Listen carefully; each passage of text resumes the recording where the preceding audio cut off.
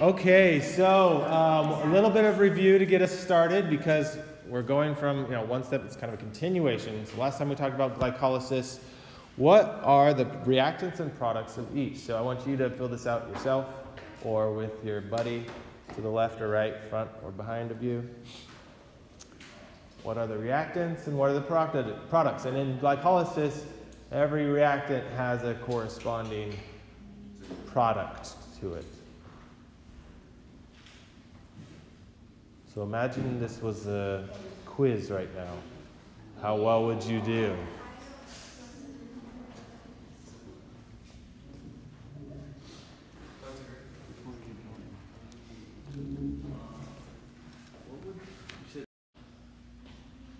Okay, did you guys get them all? Okay, how many reactants did you have?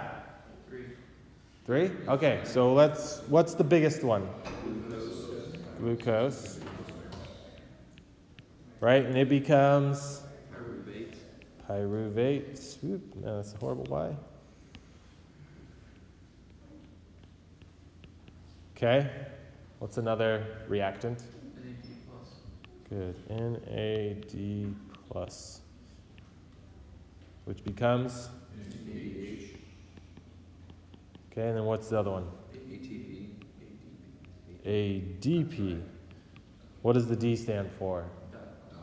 Di, which means there's two phosphates. And what does it become? ATP triphosphate. So you're adding a phosphate. Okay, good. So which um, of these are exergonic and which of these are endergonic? Talk to your neighbor.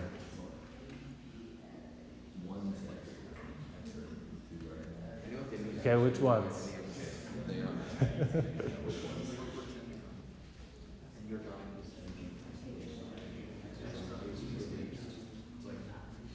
Your question?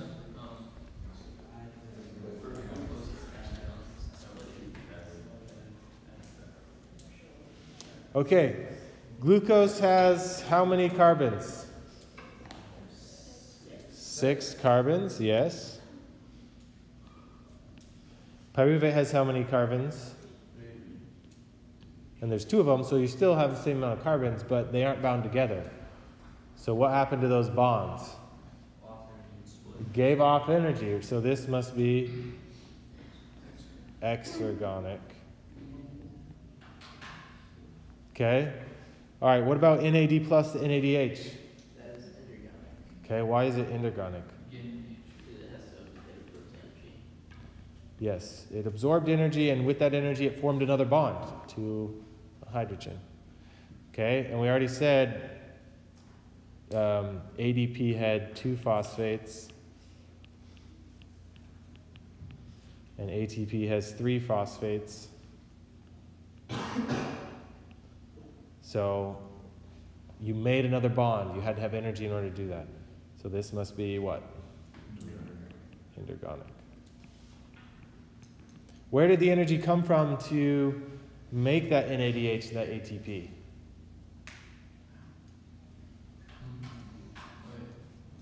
Where did the energy, if you have to have energy input to add that hydrogen and that phosphate, exactly. So glucose gave off energy as it became pyruvate. That energy was used to add a hydrogen and to add a phosphate to ADP and ATP. Okay, good. So at the end of this, ATP is ready to be used for energy. NADH has some potential energy, which we'll use later. And now we have pyruvate, and we're going to keep on using pyruvate and break it down further to make more energy. So that's our next step. Yes. Okay, so pyruvate oxidation, um, what we have is pyruvate becoming acetyl CoA. So, how many carbons were in pyruvate? Three carbons. Um, and there are two carbons in acetyl CoA. So, what happened to that other carbon? Okay, yeah, it was released as carbon dioxide. And what can we use carbon dioxide for in the cell or in the body? Nothing, Nothing, right? This is waste. What do, what do we do with carbon dioxide in our body? Yeah, we breathe it out. So that's why you breathe out carbon dioxide. There's nothing you can do with it. So we let it go. Okay? So um, that's where the third carbon went. Um, but co, uh, let's see, acetyl is two carbons. CoA is another um, molecule in and of itself that you bound there. So in order to get this, you have to have CoA to bind to the acetyl.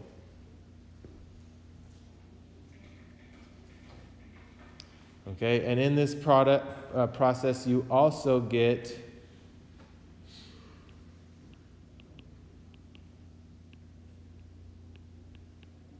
what are we doing to that NAD plus? Reducing it, right? Adding a hydrogen to it. Was there a question? Yeah. Yeah, what is CoA? What does it stand for? Uh, coenzyme A. And we will we'll look at the molecular structure on the worksheet. We'll talk about it, but okay. So, what are the reactants and the products then of this reaction? Pyruvate, good.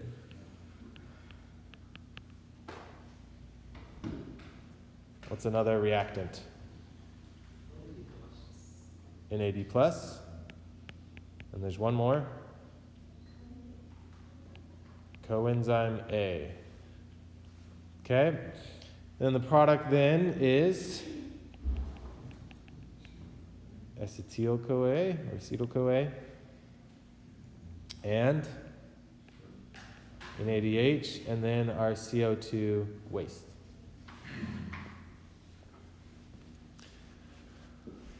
All right, so once again, we've got some potential energy in NADH, which we'll use later. We've got CO2 that's not going to be used for anything, it's just going to be diffused out of the cell. And now we've got a two carbon sugar, acetyl CoA, which we can use in the next step.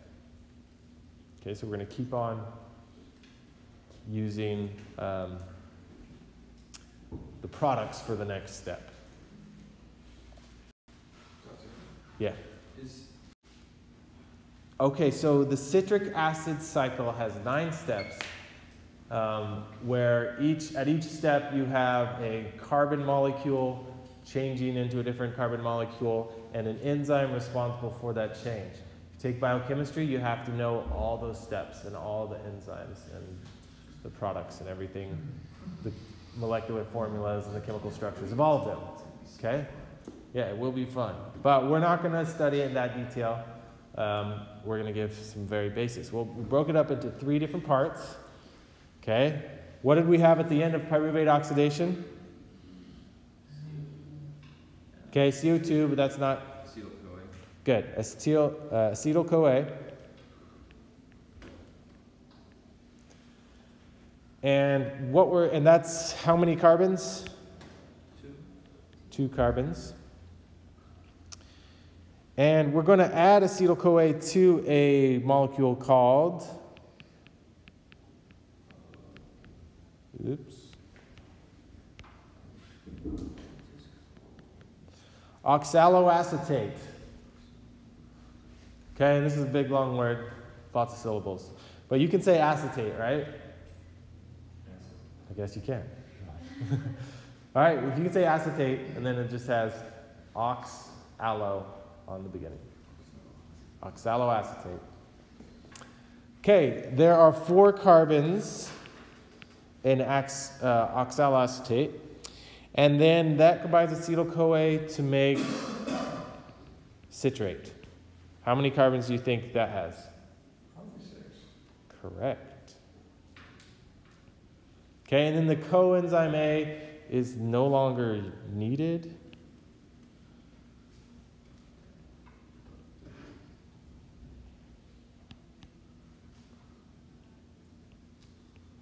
And so that's bumped off, and then you recycle it in pyruvate oxidation, so you can use that again. Okay, so that first step is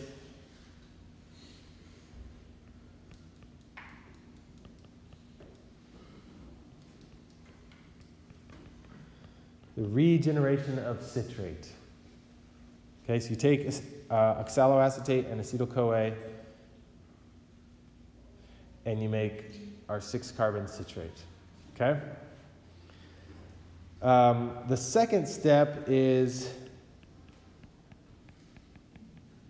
Excuse me? Why is Yeah. it called regeneration? Um, just a second, let me finish my thought.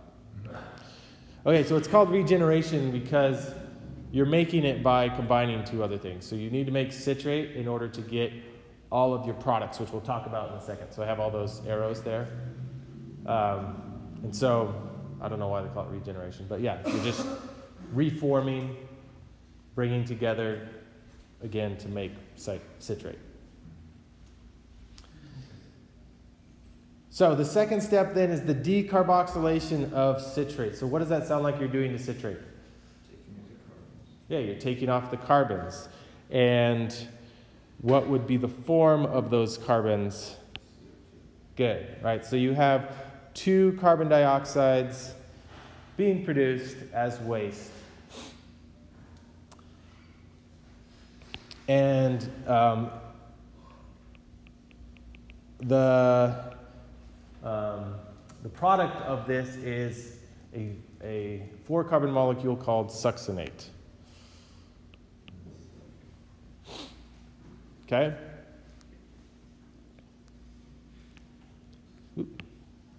So, in that process, you get two NAD pluses being reduced. I heard that. You get one FAD plus.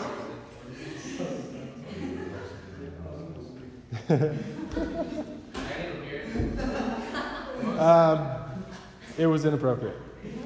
All right, so, and it got recorded, so bonus. Hopefully you'll, remember that. Yeah, I can go ahead and edit it, but I probably won't. All right, so FAD plus is reduced into FADH2. And then you also get an ATP. It's probably good to have those arrows on there so you know what, what your products are. Okay, so the last step then is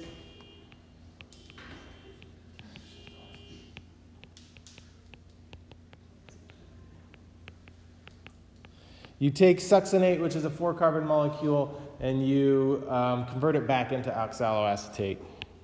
And in that process, you get another NADH.